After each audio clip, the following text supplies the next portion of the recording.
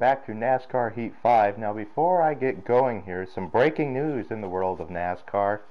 Cody Ware, son of Rick Ware Racing owner Rick Ware, has been suspended indefinitely by NASCAR after being arrested in North Carolina. Ware was absent from the Bristol Dirt Race this past weekend, and it was revealed that Ware initially was, excuse me, allow me to rephrase. Initially, it was said that Ware was stepping away due to a personal matter. Well, today he had been arrested. According to Iredell County Jail records, Cody Ware was booked Monday morning at the Iredell, Iredell, excuse me if I've mispronounced that, County Detention Facility in Statesville, North Carolina. Current records show him eh, still in custody as of 1 p.m. Eastern Monday, so about three hours ago. Iredell, Iredell Free News reports that Ware faces a felony charge of assault by strangulation as well as a misdemeanor assault on a woman. His bond was set at $3,000. And it's been mentioned in the past that Ware has had some problems. You know, depression issues. I'm not trying to make an excuse or anything, but um, you know, so he's got he's had problems in the past, but um, yeah, you you can't do that. I mean, it's plain and simple. Um, according to this,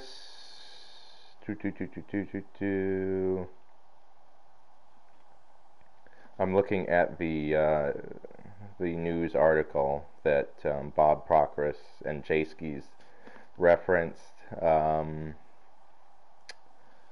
they don't. Um, they do not uh, have anything of interest. Other, you know, it's the same thing as the article says. So, uh, our um, replacement has not been announced. Um, you know, Matt Crafton drove yesterday, last night. Um, I'm sure that they'll try to get some of their former drivers like Joey Gase. Um, well, maybe Joey Gase. Um, possibly, oh, um, Smithley. I kind of was blanking there for a minute on who used to. Rick Ware went through so many drivers like toilet paper that you forgot who all drove for him. But uh, anyway, so with that out of the way, you know, and if an update was to be provided, I would say something, but uh,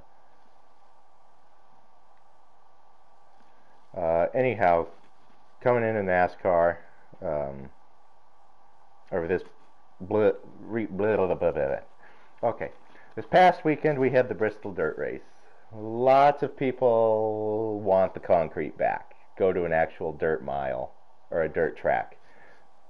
Personally, we've seen it three times. It's been okay. I, I would like to see it run at DuQuoin or Springfield. I've said that before. You know, mile dirt tracks, so they're bigger.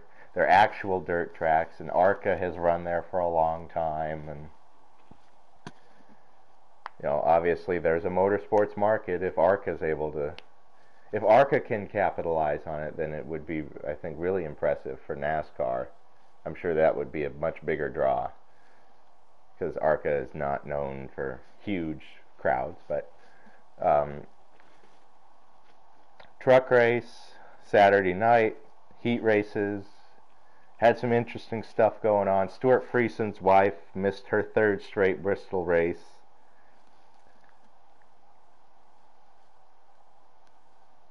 along with Lawless Alan missed his second race of the year in the 45.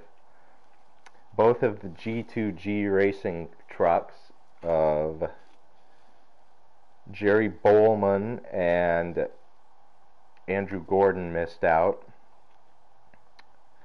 And, oops, I'm looking at race results. I want the starting lineup. Because there was one more truck. Well, anyway, so after watching the uh, heat races, Heat 4 was the one I was interested in because that was the one Norm was in. And uh, Norm Benning at the start just sank like a stone. Apparently, the truck shut off and he had some other problems. But, um,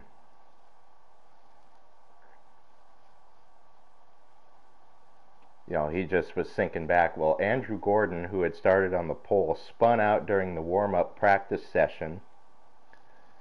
And slowly he was dropping back, and then it was like a switch flipped, and he, like he dropped anchor and he flew back. Well, Tyler Carpenter, driving the 41 car for 41 truck for Al Niece, um,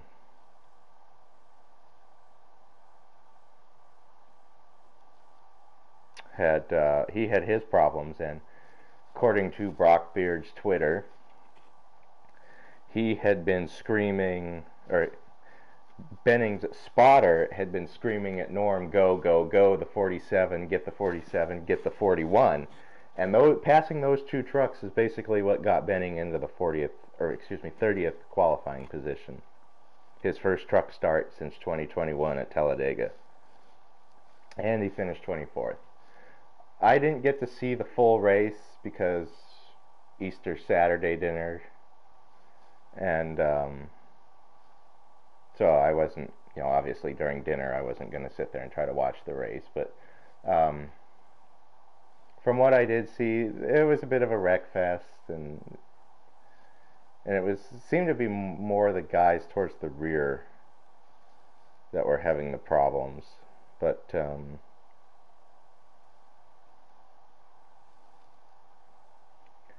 you know, and then the cup race. the end was kind of ruined by the uh, by the caution. Oh, fifth truck to qual- miss the truck race was uh, Josh Rayon. But anyway, back to the cup race. Um, you know, I mean, it was it was Bristol on dirt, or yeah. Um, Christopher Bell won. He dominated the last segment.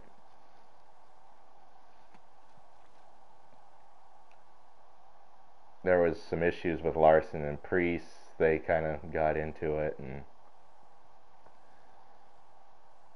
you know, I think Reddick maybe was going to try a Briscoe move, but then uh, the caution came out for that last wreck, and when Chastain was stuck in the middle of the third turn, and uneventful finish.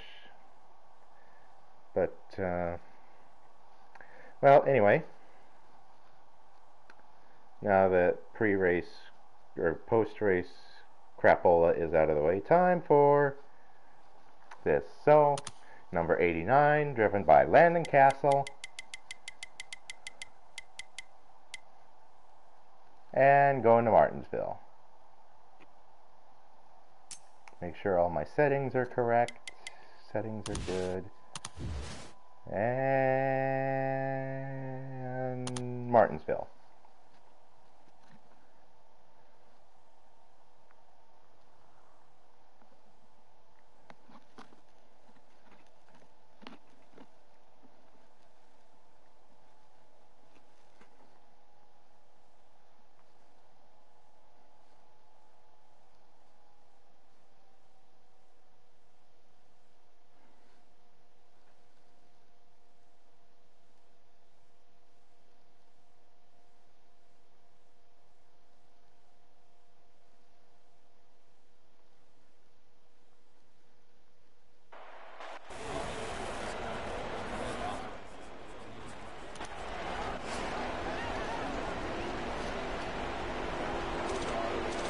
Okay, uh, practice.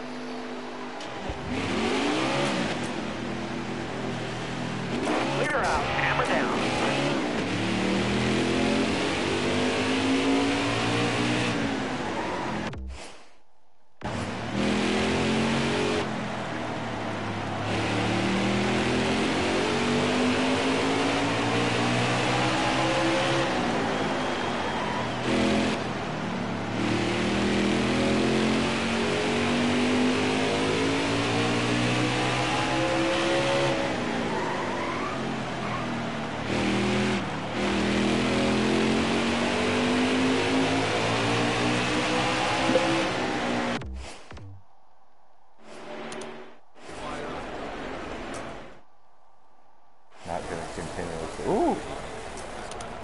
I hit the marks right. Ooh, good thing I checked on grill tape.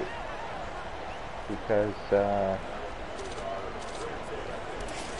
I probably would have gone straight into the race without checking because I, Go, go, for some go. reason, didn't think it checked before practice. And, uh,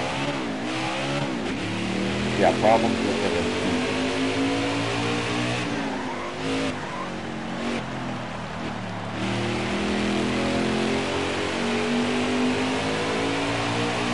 Qualifying, big hill.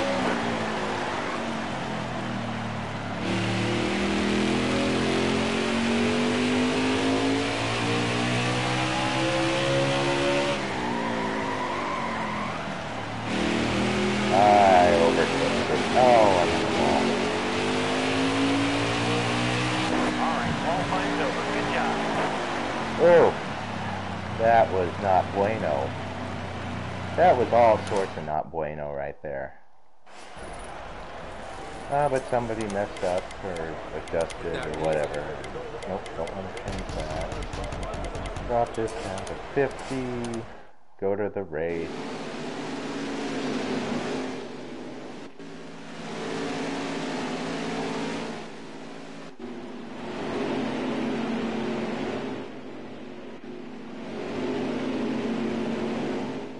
Either Hill or Williams. They made Hill flat in this game, so I got a feeling it might have been Williams.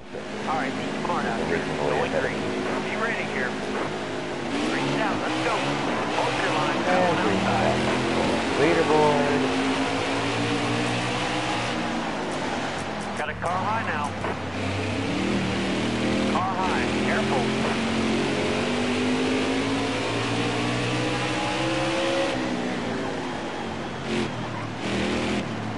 Stay on the bottom. Oh!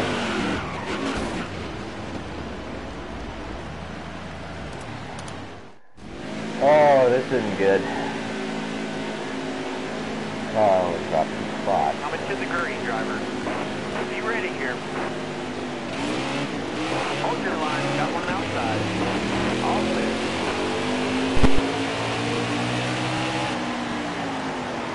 Careful, still there.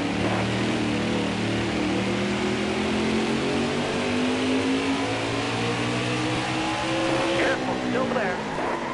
All right, you're clear. All right, you're clear.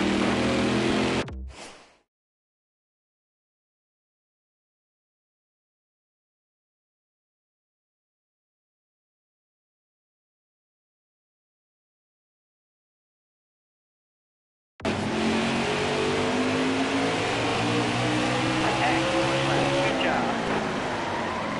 Hold me a good wheel here. Got one inside. We're all clear up top.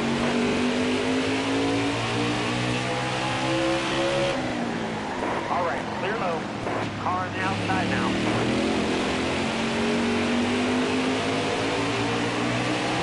Excellent. Good job.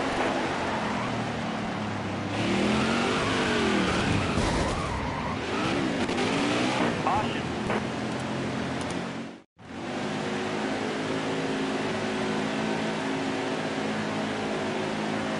Coming to the green, driver.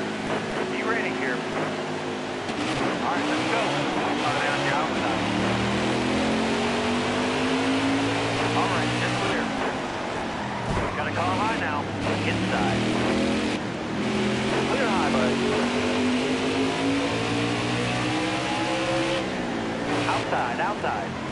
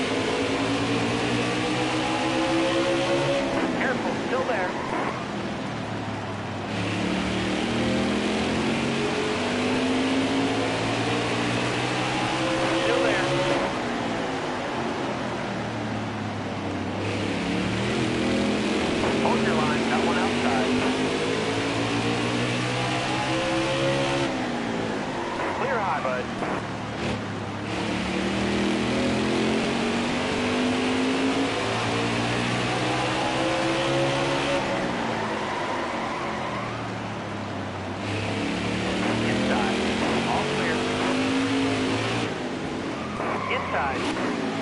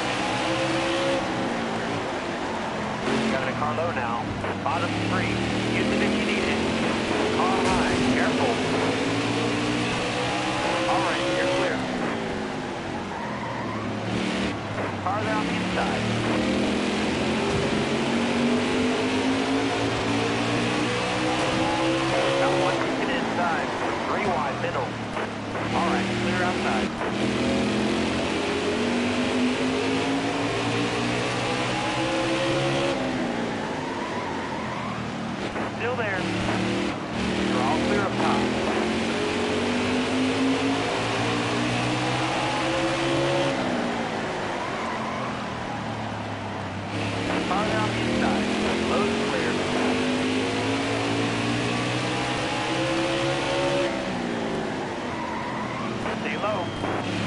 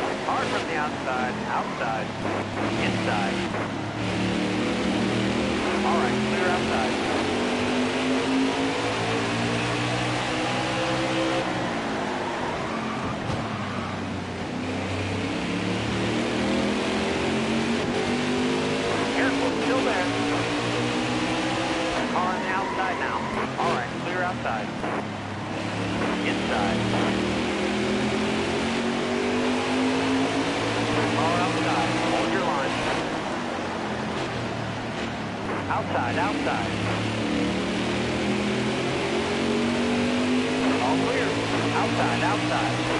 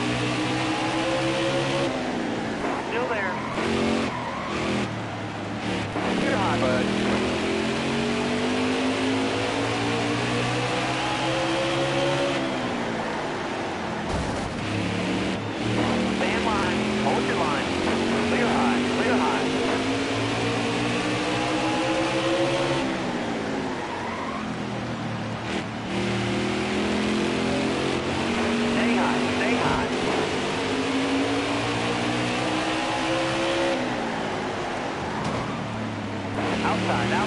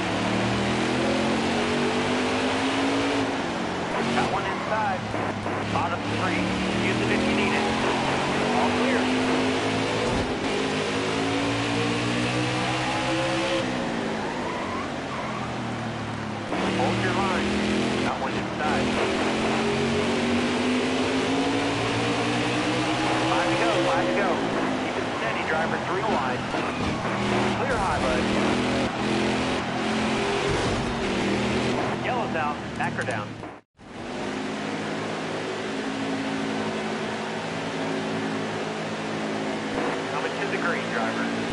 Almost ready. Reach out, let's go. Left, left, take off. Power outside.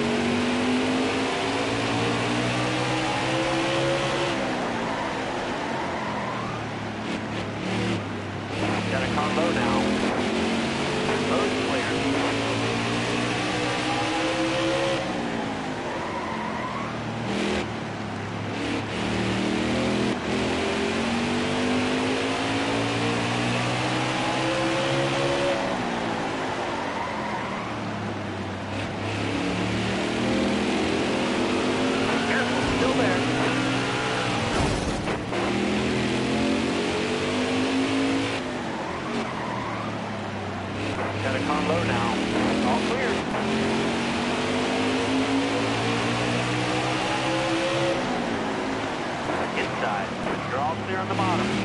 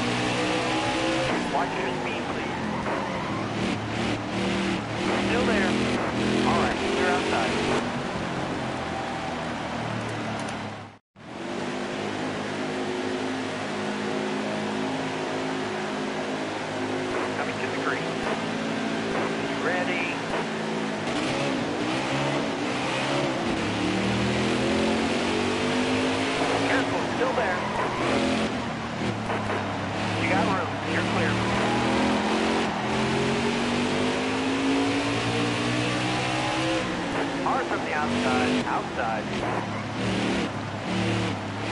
All right,